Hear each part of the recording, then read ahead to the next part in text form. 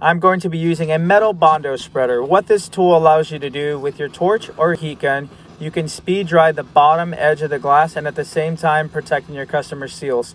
When you're doing this, this is going to ensure that the bottom edge of the glass is completely dried and secured. So when the customer is rolling the window up and down, they don't have to worry about it peeling. That's it, all done.